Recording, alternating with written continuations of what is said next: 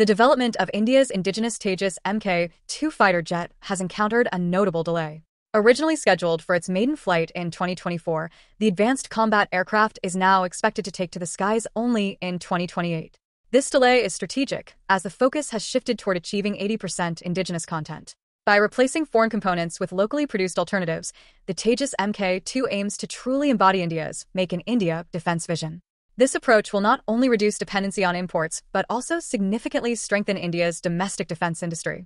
Despite the setback, the Indian Air Force, IF, remains firmly committed to the program.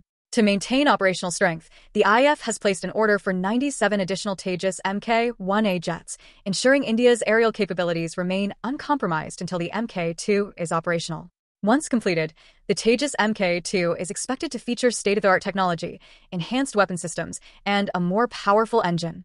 Designed to replace older aircraft such as the Mirage 2000s and Jaguars, it is poised to become a critical component of India's future air defense.